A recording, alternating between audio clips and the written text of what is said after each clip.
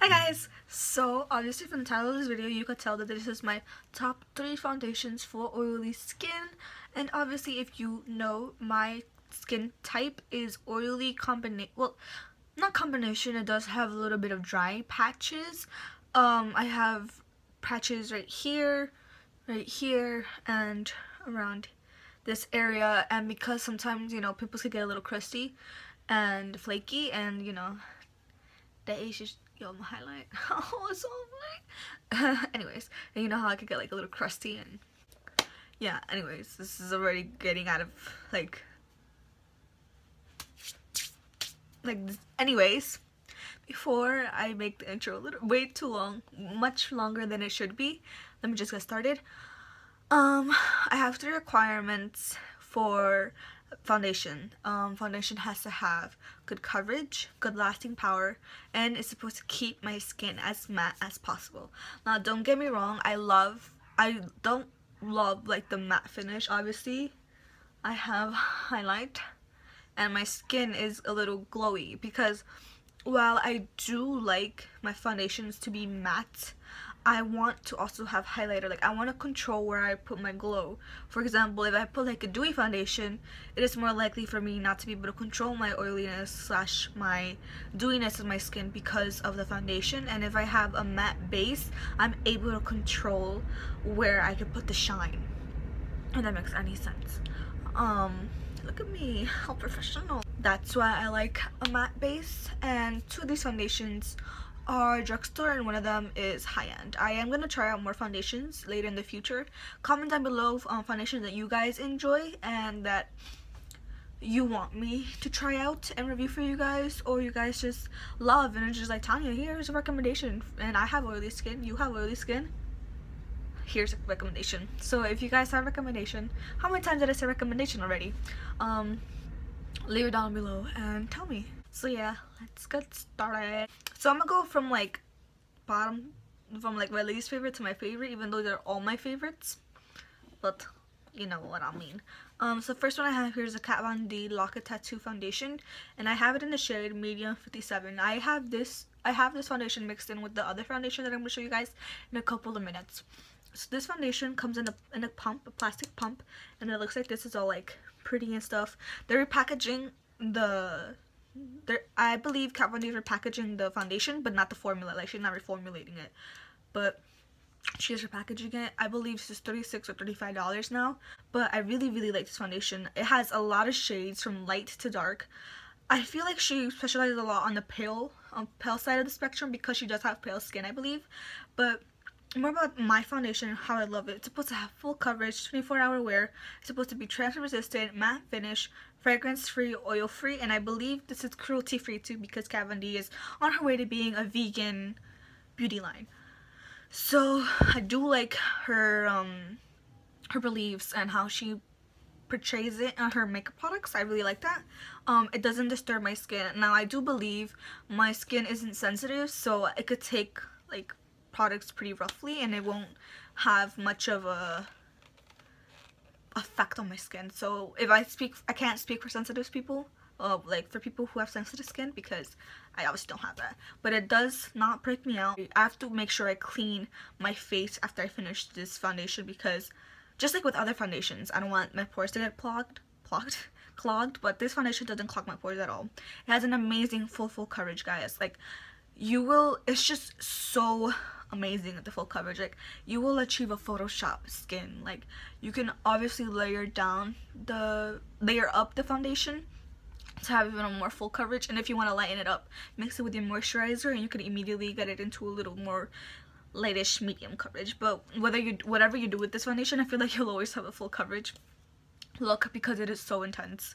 It does have an amazing staying power. I believe that with a primer and with settings power, um, settings power, setting spray, it does make it last longer and makes it not fade away that quickly. It will last me all day. I haven't used it 24 hours because I take off my makeup, but it does have amazing staying power. Like I really, really like it. It doesn't fade away or if it starts fading away, it doesn't fade away blotchy or like like with spots. I do like using a primer with this because I have areas where it is very dry and you can definitely catch up. You could definitely catch those. Like they kind of um accentuate this product accentuates that that spot more so I, de I definitely like using a more moisturizing primer under this foundation if you do have a bit of dry patches. When it comes to the transfer resistant claim, I don't think it's transfer resistant or 100% transfer resistant. Um, like I said, if you put setting spray, set, if you put on a setting spray and a primer, it does um, help help it be a little bit more transfer resistant. But like as it just by itself, it's very very not transfer resistant. I feel like if I just rub my face a little bit on something, this will come off. And it's not a problem, but for me it's kind of embarrassing because I mean, why would you want to put foundation on somebody else's shirt? Like, that's, that's embarrassing.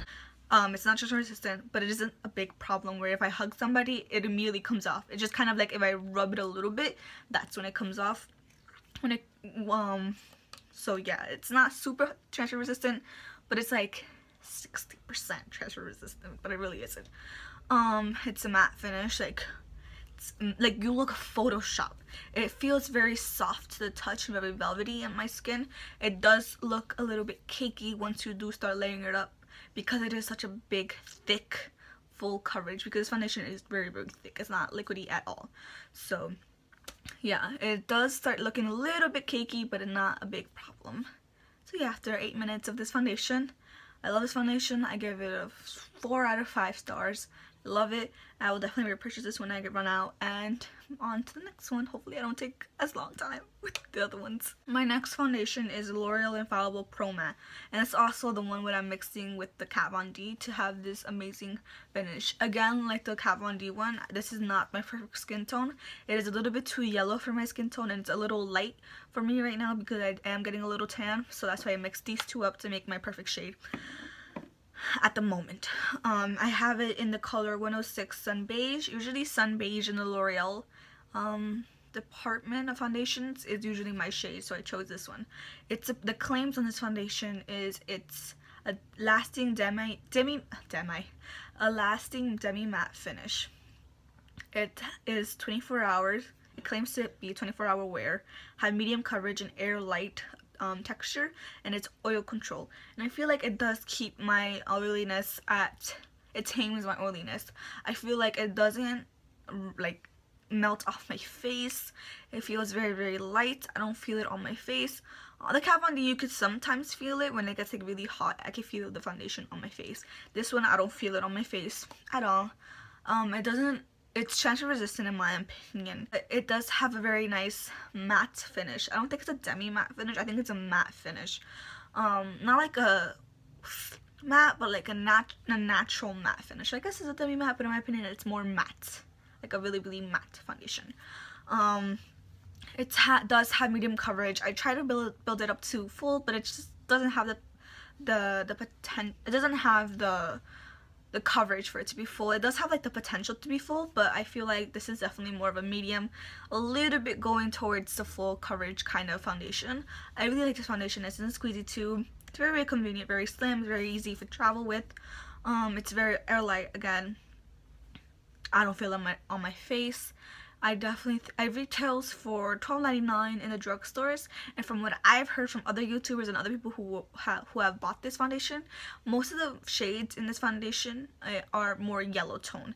And the, the skin tones for this foundation isn't as wide as variety as the Kat Von D one which kind of sucks but you could definitely find your shade or at least work with one of those foundations and find your shade and just mix kind of thing because it isn't such a it is a cheap foundation um, it is one fluid ounce, just like every other foundation. And the lasting power is amazing with this.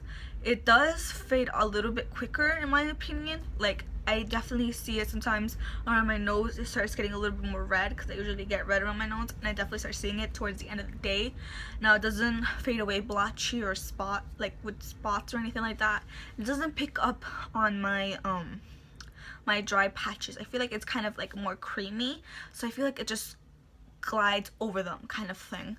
I definitely still use it with a moisturizing primer if I have like dry patches, but again, it's not a big problem where I need to like, like I need to hide my dry patch because it's not, there's, it doesn't pick up on it if I use a hydrating primer, with it. I like using this with a brush or with a beauty blender. I prefer it with a brush more because with the beauty blender I feel like it soaks up more of the product and it loses the coverage a little bit more. Um, the Kat Von D I like using it with both a brush and a beauty blender. I like this foundation a lot. Honestly, it's trans it's not it's transfer resistant. It's matte it keeps me not oily it just stays on all day and it's just like anything that you would want to ask for in a foundation a little bit goes a long way with this foundation and i definitely see this as being a holy grail status for many people the last foundation I have for you guys is the CoverGirl LS Fabulous Foundation in A57 Golden Tan.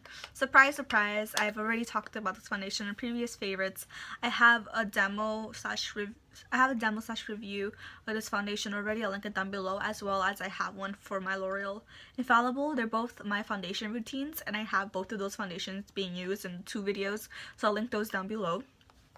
And I love this foundation. I'll also link down below my declutter foundations where I basically review all my foundations that I have in my collection.